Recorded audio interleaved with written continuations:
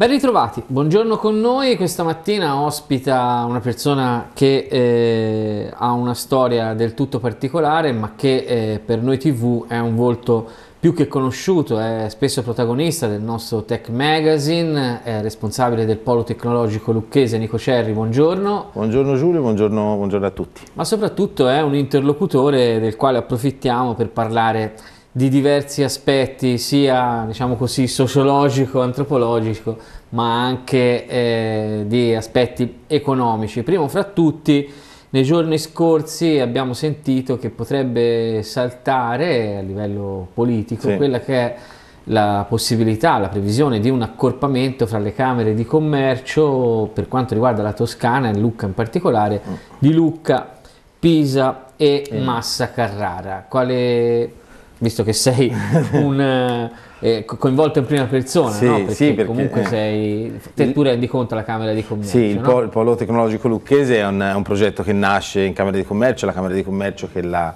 realizzato, quindi, eh, ed è la Camera di Commercio sempre il socio unico appunto della società che gestisce il polo per la quale io lavoro, quindi sono diciamo, i nostri genitori no? in, eh. un certo, in, un certo, senso. Che si dice riguardo a questa cosa? Allora, Perché facciamo scusami, un, un, brevissimo excursus. Sì. Negli ultimi tre anni sono successe cose, fra virgolette, drammatiche per le Camere di Commercio. Sì. L'abbattimento sì, dei bilanci del 50%. Sì, sotto la precedente, no? mh, col precedente governo erano stati previsti uh, un iniziale taglio delle, eh, delle entrate che, deri, delle Camere di Commercio che derivano dal, dal diritto annuale, che è una tassa che le imprese del territorio, in questo caso la provincia lucchese, pagano alla Camera di, di Commercio e mh, inizialmente era stato previsto un taglio, vado a memoria, del 30-35% per poi essere aumentato fino eh, al 50%. E contestualmente Siete diventate stato... imprese senza portafoglio praticamente. Siamo diventati ministri senza portafoglio. No, questa cosa qui fra l'altro sul polo di Luca ha avuto un effetto, una ricaduta pesantissima perché all'epoca erano ehm, eh, in via di ultimazione i lavori per la selezione dell'impresa che doveva realizzare un altro edificio come questo. Quindi eh, doveva, il polo era, era, in una fase di espansione no? e questa misura eh, insieme anche a una ridistribuzione poi delle competenze tra province, camere di commercio, regioni eccetera ha portato a una brusca, a una brusca frenata per cui ti, ti, fermo solo Dimmi. un secondo perché eh, noi tralasciamo, perché chiaramente essendo qua ce ne dimentichiamo, un edificio come questo, stiamo parlando del polo tecnologico lucchese dove eh, Noi TV è insediata dal 2013, quindi in questo momento in, chi ci vede in diretta o chi ci vedrà eh, nella trasmissione registrata vede una trasmissione che viene realizzata all'interno del polo tecnologico esatto. lucchese, ecco perché si parlava di eh, possibilità di, di raddoppiare un edificio come questo, più o meno a Lucca tutti lo conoscono, mentre mentre mh, continui a raccontarci magari vi faccio vedere anche una foto per chi sì. non l'avesse presente. E, e, la cosa importante è che non, non, eh, non, ci siete solo voi nel polo tecnologico lucchese, ma ci sono, eh, esatto. eh, 20, oggi sono 28 aziende, molte di queste, la metà di queste sono eh, aziende composte da giovani imprenditori che hanno qui um, insomma, delle condizioni diciamo, agevolate per poter avviare le loro attività, quindi è un posto dove si fa sviluppo. E, e, quindi questo ci ha, mh, dal nostro piccolo punto di vista ci ha un po' eh, rallentato. Eh, L'altra misura che invece riguardava le Camere di Commercio a livello legislativo era l'accorpamento, cioè l'idea che eh, le Camere di Commercio eh, del territorio nazionale si fondessero per ridurne il numero dalle 90-100 che erano a circa un terzo. E per Lucca era stato previsto che la fusione dovesse avvenire con Pisa e Massa Carrara. Il processo era già eh, stato avviato, un processo amministrativo complesso di cui ci risparmiamo tutti volentieri i dettagli, eh, però mh, Massa Carrara ha avuto dei dubbi amministrativi, dei, dei dubbi eh, legati alla, alla, agli effetti della, della, della normativa degli, degli, accorpamenti, ha fatto ricorso, ricorso amministrativo che eh, ha subito, che ha, che ha impresso, vista l'ultima decisione dei giudici amministrativi, ha impresso uno stop alla, alla, procedura. Quindi siamo diciamo, in una fase ancora di sviluppi processuali, processi di tipo amministrativo, ma insomma vediamo... Siamo ancora nella prima fase? Siamo sì alla prima fase, Tardi, quindi vediamo... Sì, poi il Consiglio di Stato, eh, sarà una sì, cosa piuttosto, anno nuovo. piuttosto lunga. E dal punto di vista della tua esperienza, come sta l'impresa giovane lucchese? Non solo lucchese, ma insomma eh, allora, tu che studi sì, questi processi a, a, 360 gradi, se tu, ci puoi fare un po' un quadro della situazione? Allora, la, la sensazione, guarda, io mh, ti direi una bugia, ti dicessi che ho una visione sistematica da studioso. Io quello che dico sempre quando parlo del mio lavoro, mh, non sono un teorico, non ho neanche grandi basi teoriche, ho una laurea in legge, quindi non vengo da un mondo dell'economia. Quindi sono abituato a confrontarmi con le persone come singoli. Allora, eh, parto da un dato che avrebbe dovuto preoccuparmi, cioè che le start-up a Lucca, le aziende eh, appena costituite, iscritte al registro delle imprese della Camera di Commercio, nella sezione dedicata a chi fa innovazione, sono eh, pochissime, siamo tra gli ultimi posti in, in Italia. Eh, perché dico avrebbe dovuto preoccuparmi? Perché lavorando in una struttura che ospita giovani imprese che hanno una forte vocazione all'innovazione, dovrei avere no, dei segnali preoccupanti. In realtà io questi segnali personalmente non li ho, cioè la nostra struttura ospita un numero costante di imprese innovative, stanno qui tre anni, poi vanno, qualcuna rimane, e ho una costante richiesta di eh, insediamenti. Essendo giovani imprese con una caratterizzazione innovativa non sono numeri altissimi, ma non sono numeri altissimi in tutte le province simili alle, eh, alle nostre quindi senza l'università, no? fuori da, eh, certo. eh, si fa eccezione anche le grandi, si fanno, fanno, eccezione anche le grandi metropoli. Quindi dal mio punto di vista il, tessuto, il giovane tessuto imprenditoriale lucchese è un tessuto vivace, a prescindere dal fatto che si iscrivano o no nelle sezioni certo. del registro delle imprese dedicate all'innovazione. Però io ho una sensazione complessivamente positiva, il che non vuol dire che sia una cosa facile avviare un'impresa, che non, non, vuol dire che sia scontato, che abbia un esito positivo, ma eh, registro una, una costante voglia di eh, avviare nuove imprese da parte di giovani professionisti, questo sì. E voi in questo percorso cercate di accompagnarli sì, con un sì, sostegno sì. di servizi, sì, sostegno sì. Tieni conto anche che, economico, perché anche ci sono economico, sì, allora, no? sì, eh, tieni conto che questa cosa qui su Lucca, prima mi dicevi no di Lucca, eh, è un'attività che anche la Camera di Commercio ha svolto negli anni e, e, svolge tuttora ed è dedicata a chiunque vuole aprire un'impresa di qualunque tipo. Mi spiego, eh, una pizzeria eh, al polo tecnologico non, non è un'attività che possiamo ospitare, no? eh, perché non è innovativa, no? però è secondo me doveroso che il sistema di sostegno alle imprese permetta a un giovane imprenditore che vuole aprire una pizzeria di avere eh, un minimo di percorsi di accompagnamento e questo lo fa la Camera di Commercio. Noi ci siamo più che altro specializzati sul eh, settore dell'informatica, quindi a chi eh, vuole sviluppare eh, diciamo, aziende che hanno dei contenuti di, di, innovazione. I servizi di assistenza sono, come dicete, in parte economici perché eh, essere ospitati al polo avviene a delle condizioni economicamente più vantaggiose che andare sul mercato. Eh, noi diamo per esempio degli uffici che sono completamente arredati, serviti di tutte le utenze, a un canone diciamo, calmierato, quindi l'aspirante imprenditore, l'imprenditore che approda al polo tecnologico si deve preoccupare solo di portare il computer, il giovane imprenditore. E già questo è un elemento di facilitazione perché vuol dire anche non avere eh, sulla propria attività tutto il carico di gestione no? della, della della, della, parte immobiliare, le manutenzioni le facciamo noi, le pulizie ci pensiamo noi, eccetera. Quindi eh, vogliamo che chi fa impresa al polo si dedichi solo al fare impresa. Certo. Quindi vogliamo che i giovani imprenditori siano concentrati loro, sul, loro, sul, loro, progetto. Quindi eh, facilita, facilitazione economica e facilitazione di servizi, diciamo di tipo logistico e gestionale. Poi facciamo dei servizi sui contenuti. Il principale eh, servizio che facciamo è quello di cercare di creare delle relazioni relazioni tra le aziende giovani che sono qui, ma anche le aziende mature, come siete voi, a Noi TV, ce ne sono altre al Polo, sono altrettanti, certo. sono 14-15 aziende, che comunque hanno scelto di venire al Polo per ragioni di propria innovazione, di, di, di, di crescita, di sviluppo, per sviluppare a loro volta progetti innovativi. Metterli accanto a delle start-up quindi a delle persone giovani con un grado di competenze professionali molto alto permette di far incrociare i vostri bisogni con la loro offerta.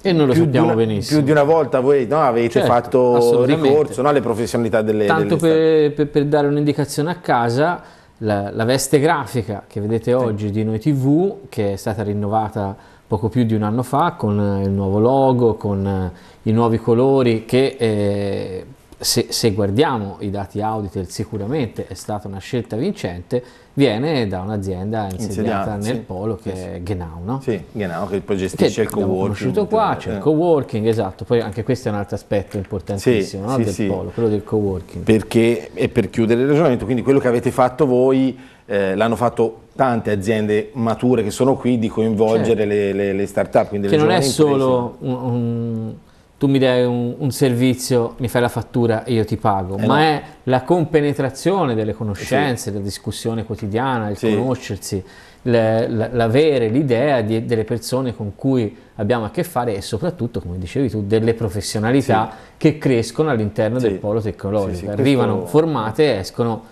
sì, An- sì, ancora più ancora, sì, sì, ancora più specializzati. Più specializzati. Sì, Questo è, la, è la, la, secondo me il servizio base e cerchiamo poi di esportarlo anche sul territorio. Questa è una partita un pochino più complicata.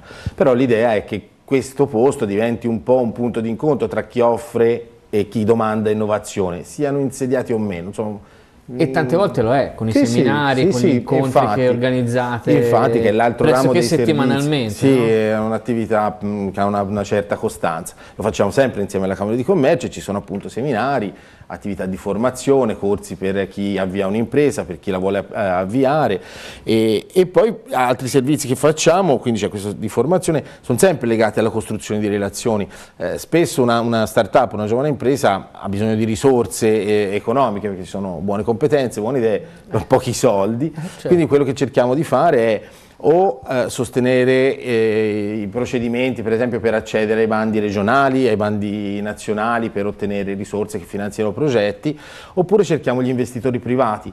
Eh, gli investitori privati sono quei soggetti che eh, possono essere eh, persone fisiche, quindi persone che hanno molti soldi, che nel diversificare i propri investimenti possono decidere di eh, anche investire in una giovane impresa.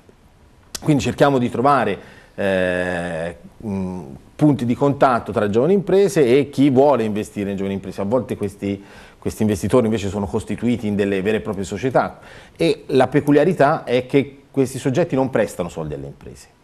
Eh, in questo caso chi partecipa a un progetto imprenditoriale finanziandolo non si attende la restituzione del prestito, eh, è disposto a, a, rischiare insieme all'imprenditore, quindi se le cose vanno male il giovane imprenditore non deve restituire eh, quanto ha ricevuto di finanziamento.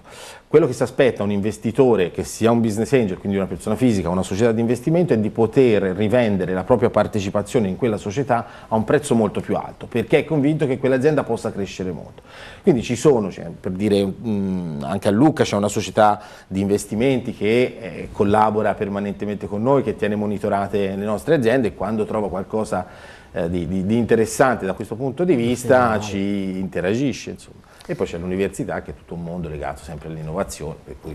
E qui si va ancora oltre. Ci fermiamo un breve break per la pubblicità e poi ancora qui con Nico Cerri, abbiamo parlato del polo ma eh, sfrutteremo la presenza di Nico anche per eh, toccare un po' quelli che sono i temi del, mm, diciamo così, della cronaca quotidiana e eh, le sue esperienze per cercare eh, di dare un, un punto di vista anche nostro. Tra poco.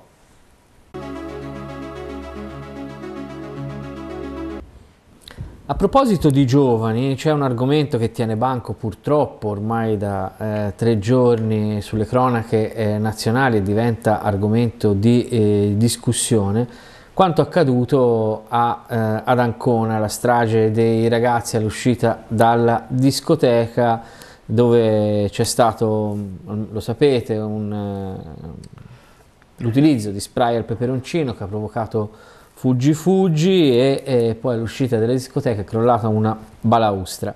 E il primo lo vediamo dalla prima del Corriere, lo abbiamo visto prima nella nostra rassegna stampa, eh, fermato il ragazzo dello spray, sospetti su un sedicenne che è stato trattenuto per droga, cioè ci sarebbe stato un ragazzo che all'interno della discoteca ha usato lo spray al peperoncino.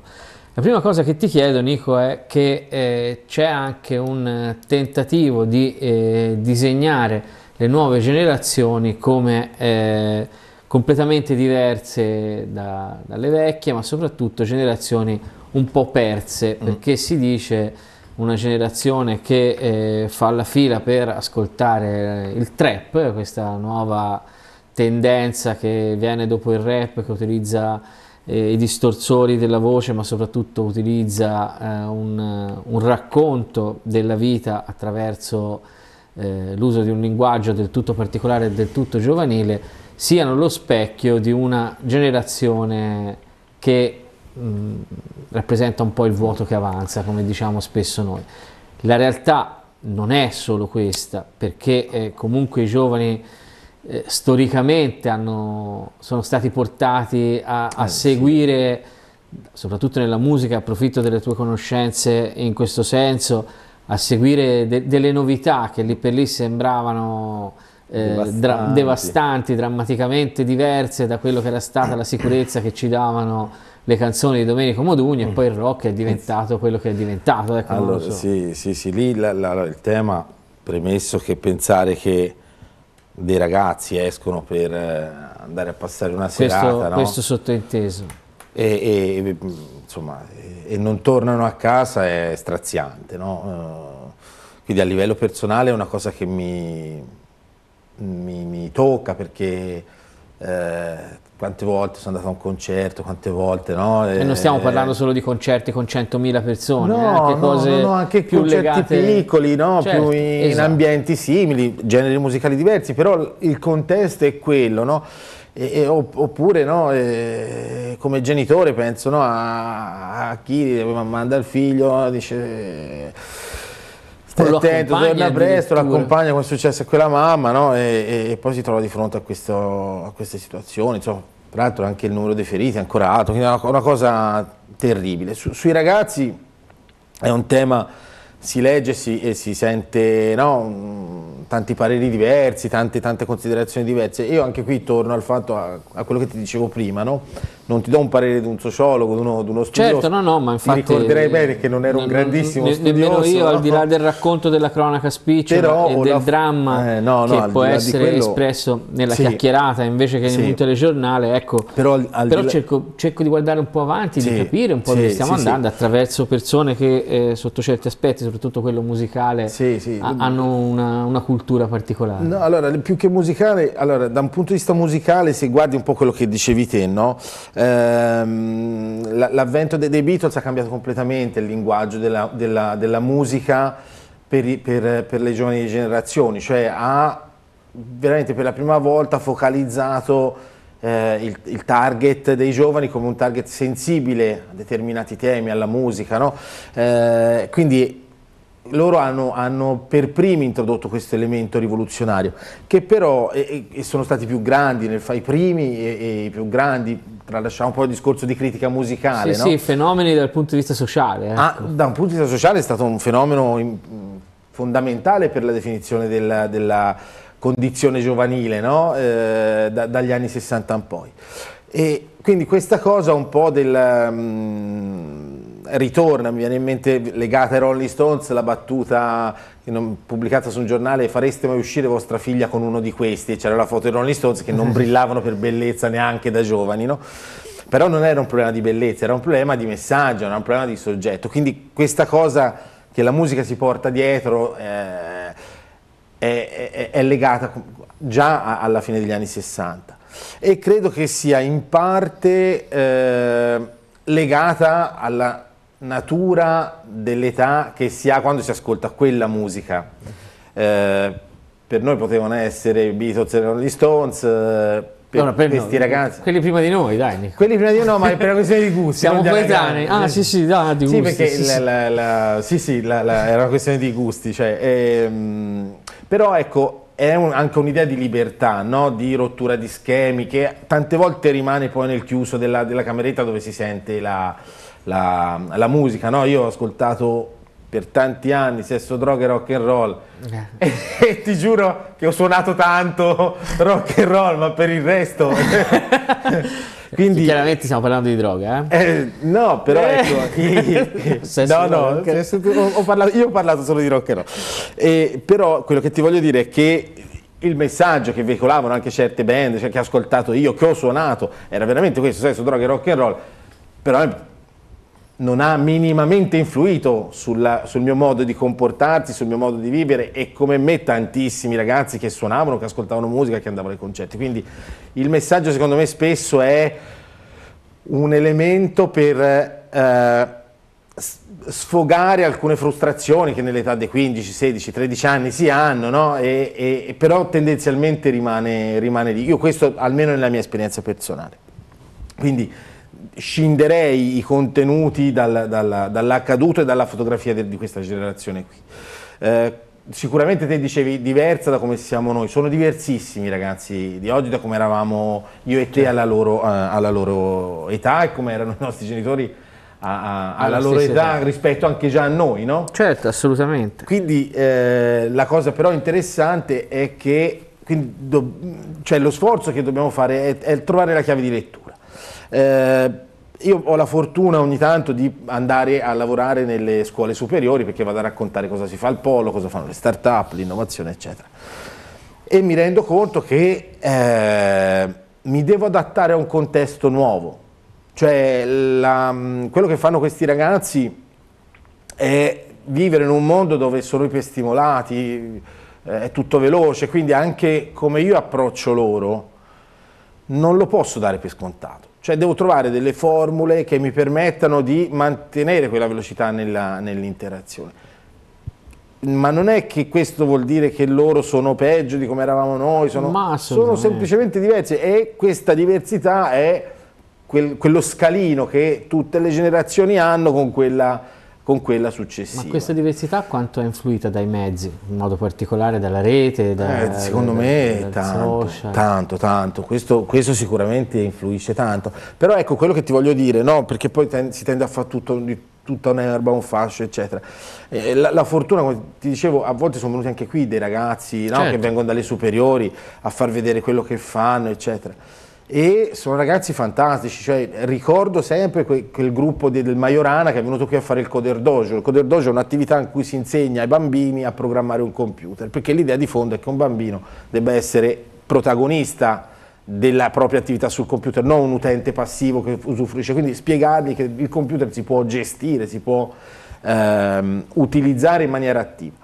E sono venuti in, in, in alternanza scuola-lavoro questi ragazzi dal liceo Majorana e professionisti, cioè persone serie, gentili, educate, lontanissimi dagli stereotipi, ma ne ho visti tanti, anche andando nelle scuole si, si percepisce, quindi c'è un problema nostro anche di, di lettura di quel, certo. di quel, contesto, c'è un problema nostro di eh, non, non adattamento gli occhi giusti per guardare quello che stanno È normale, facendo. io non, non, mi sento neanche di farmene una colpa, no? Perché... È è difficilissimo, cioè, come dicevi te sono influenzati da questi nuovi media e a volte per gioco gli chiedo se qualcuno ha mai visto un vinile, no? si parla di musica, argomento che certo. può essere anche un ponte in questo caso. Eh no, eh, bravo, Questo, questa è, è, la soluzione eh, per avvicinarsi. Eh, Trattiamo gli stessi argomenti da punti di vista diversi e troviamo... Sì cerchiamo di capirci. Io la cosa che, che, a volte utilizzo, il trucchetto che utilizzo per parlare con i ragazzi è dirgli che io sono in una band quindi mi vedono vecchio perché per i loro occhi sono no, eh, certo. attempato e questa cosa, no, creare questa, questa um, frattura, no, dicendo ma io sono in una band con i miei amici, ma come sono in una band? Che locali sono? Allora venga a vedere. Cioè, crea un, un vincolo, crea un, un, un legame che poi utilizzo per dopo riportare il temi no, che mi interessa, su cui devo fare l'intervento, però trovare, la, la, la, la, difficoltà è trovare queste, queste chiavi di, di, di lettura e, e, di comunicazione, perché leggere tutto sommato può essere anche facile, parlare è più complesso, farsi capire e capire. Eh. Volevo approfittare per fare un'ultima domanda, c'è stato il periodo della, della rivoluzione musicale, partiamo Beatles e Rolling mm. Stones, mm che eh, partono, fanno il loro percorso artistico, mandano un messaggio e hanno un grandissimo ritorno, ma credo che soprattutto all'inizio non ci fosse le, lo spirito commerciale, nel senso nel, nel, voler per forza ottenere il successo e poi mm. mantenerlo stando sugli standard mm. che richiedeva il pubblico, anzi mh, mm, diciamo che in certi casi eh, hanno fatto proprio della battaglia la loro, la loro forza. Poi c'è stato un periodo, anni 80, 90, mh, anche un pochino dopo, dove il commerciale, cioè un'etichetta discografica che prende tre bei ragazzi o tre belle ragazze che magari non sanno né suonare né cantare, io il giudizio non lo do perché non, me, non, non sono all'altezza, però messi insieme, che hanno quell'immagine, che suonano quel tipo di canzoni, che è, e come direbbero i ragazzi, spaccano, okay? per, un, per, un, periodo relativamente breve, sì. perché tanto sono, sono fenomeni che vanno su e giù. E poi ci sono quelli di oggi, che sono tra virgolette definiti influencer oltre che cantanti e artisti e che sfruttano il mezzo, la rete, YouTube in particolare, per, per arrivare laddove possono far breccia. Non riesco ancora a capire se eh, dietro c'è la strategia commerciale e mi sembra difficile perché comunque sono tante etichette indipendenti mm. anche no, dal punto di vista musicale o se è proprio il mezzo che porta a un rapporto più personale, cioè io che cerco di influenzare te e poi quell'accanto e poi quell'accanto perché so che YouTube è un certo tipo di collettore. Sì. Una domanda difficilissima Giulio. Allora, sulla parte commerciale, secondo me, allora, c'è una bellissima intervista di Frank Zappa, che è stato uno dei più grandi musicisti della sì, scena rock. Era ieri su, sui giornali. Che, ah, no, non lo sapevo, che eh, racconta l'evoluzione dell'industria musicale dal suo punto di vista, tra il periodo diciamo, diciamo, più libertario degli anni 60-70 fino a quello più commerciale e, e racconta la transizione. È, è un provocatorio ma Frank Zappa era intelligente non solo musicalmente e dice delle cose molto interessanti, per cui averne voglia eh, merita di essere vista. E quindi il problema del, del, del commerciale, quindi eh, del, del, fare musica solo per vendere, no? è sempre esistito, eh, esisterà sempre, come esistono sempre sacche di resistenza dove eh, culturale dove ci sono band che non sono disposte a, a, a ragionare su un piano commerciale. No? Ho visto una bella intervista su YouTube l'altra sera dei Rem dove dicevano siamo arrivati a un punto della carriera per cui abbiamo deciso di, scegli, di sciogliere il gruppo, ma la cosa bella che possiamo dire è che abbiamo sempre fatto la musica che volevamo. E quindi questa, mm, questa, dualità secondo me è sempre, è sempre mm, esistita o comunque si è accentuata negli ultimi anni, ma insomma tendenzialmente c'è sempre stata. Come questo impatta su YouTube, eh, cioè su, mm, come, su, come, i me, nuovi mezzi, come YouTube impatta su queste, questo fenomeno qui, sinceramente anch'io ho tutti i tuoi dubbi perché è una polverizzazione, no? non si capisce quali sono anche i meccanismi per cui un influencer emerge rispetto a un altro. Io anch'io ho difficoltà, e si torna a quello che si diceva prima, sulla capacità di leggerlo, no? questo, eh, certo. questo, mondo qui. Quindi anch'io su questa cosa qui ho un po' di, di, di difficoltà, anche perché poi i talent ti, ti portano in una direzione in cui si trovano anche persone molto capaci, cioè chi canta nei talent è bravo, ma è brava a cantare, il più delle volte sono fenomeni che se non L'artista trovano una... meglio perché è artista, non perché eh. Capito? Secondo me è, è, meglio avere una voce un pochino più incerta ma una grande vena poetica eh, per i miei gusti, però per l'industria musicale conta più una bella voce, una bella presenza probabilmente perché... Certo, eh, tutti i bei ragazzi, tutti i ragazzi ci sono tanti dubbi a proposito, però ecco l'impatto dei nuovi media su questa cosa qui, anche a volte un effetto positivo perché fa emergere anche delle proposte di gran qualità, no? e, e, da, da,